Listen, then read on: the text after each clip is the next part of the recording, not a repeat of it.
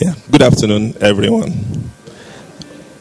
Once again, my name is Abiola Adekunle, and I run Kunle Pharmacy in Ibadan.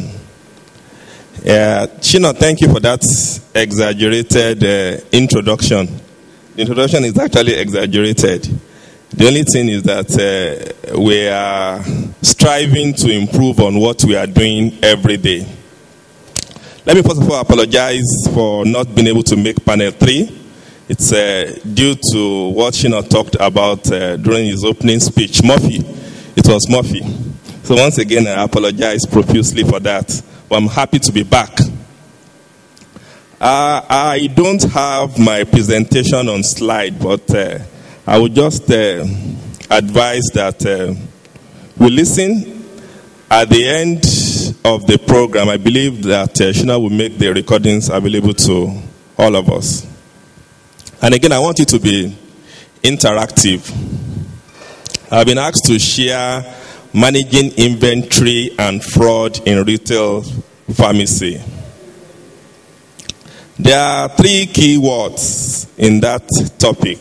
The first one is uh, manage, the second one is inventory, and the third one is fraud. I believe you all have uh, a good idea about what these words mean. Number one, in retail pharmacy, what we sit on is actually the inventory. Inventory is the same thing as stock.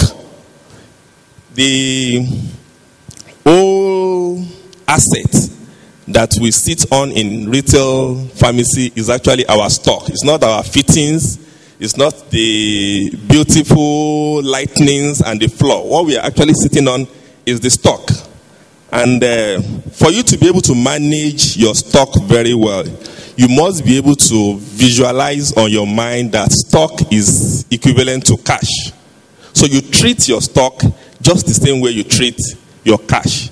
If you are not able to visualize that, it's going to be very difficult for you to have a successful inventory management. For instance, you won't just throw a bale of a thousand naira note lying anyhow within the pharmacy on a desk.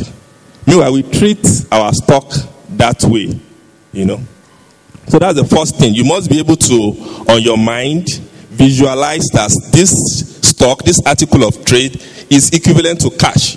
Be able to imagine that those drugs you are seeing on the shelves are actually money bills of naira notes. Yeah. So manage. Manage simply means uh, to be in control or in charge. And fraud simply means, simply put, is an act of dishonesty.